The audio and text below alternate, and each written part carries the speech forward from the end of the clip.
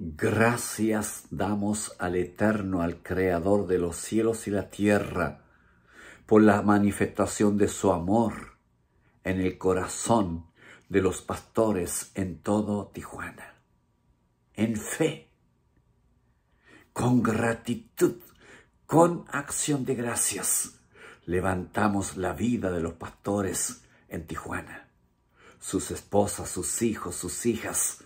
Bendecimos la vida de los preciosos pastores que con denuedo proclaman el Evangelio del Reino en todo Tijuana. Oramos por el más grande avivamiento del Espíritu Santo en Tijuana. Gracias, Padre. Gracias por tu amor. Gracias por tu presencia. Gracias por tu sabiduría, por tu revelación en la vida, en el corazón de los pastores.